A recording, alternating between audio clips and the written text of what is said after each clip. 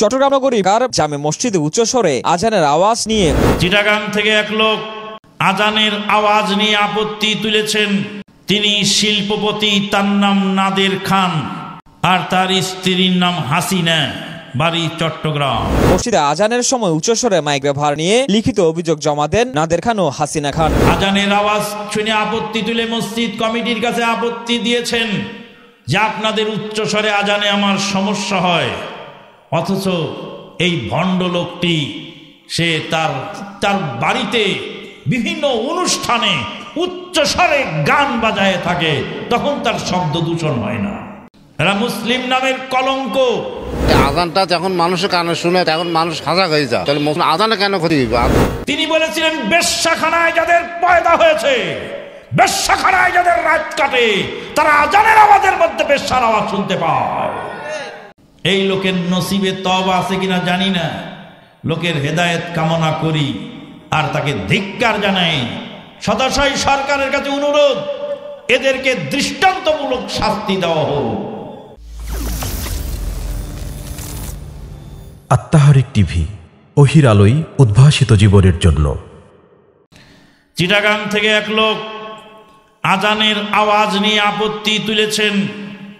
তিনি শিল্পপতি তার নাম নাদের খান আর তার স্ত্রীর নাম হাসিনা, বাড়ি চট্টগ্রাম।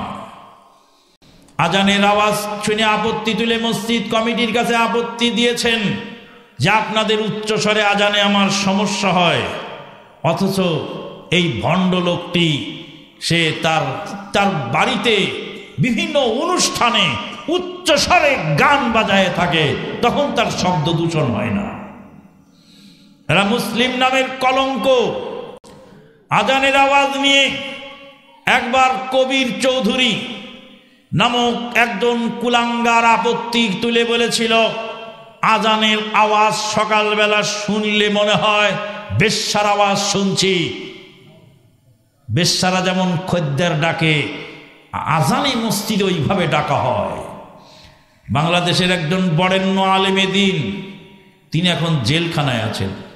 আল্লাহ তাকে ক্ষমা করুন। আল্লাহ তাকে মাঠে ময়দানে ফিরে কোরআনের আওয়াজ তোলার তৌফিক দান করুন। তিনি বলেছিলেন, বেশ্যাখানায় যাদের পয়দা হয়েছে, বেশ্যাখানায় যাদের রাত কাটে, তারা আজানের আওয়াজের মধ্যে বেশ্যার আওয়াজ শুনতে পায়। এই লোকের নসিবে তব আছে কিনা জানি না।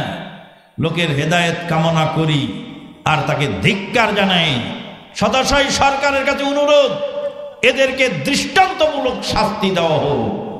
কবি কায়পুক্যবাদের সেই গান কেউই শোনালে মরে, আজানের ধ্বনি, মরমে মরমে সেই সুর, বাজিল কৃষ্ণ মধুর, আকুল হইল প্লাম নাসিল ধমনী। আমার ভাই শফির কুল ইসলাম জাগরণী গেয়ে গেছেন, আজানের মধুর ধ্বনি কতই শুনি, আমি অধম দিন আজান সম্পর্কে কত কবিতা কবি কবিগণ কবিতা লিখেছেন। সেই আজান সম্পর্কে কটুক্তি আল্লাহ দেখে হেদায়ত দান করুন।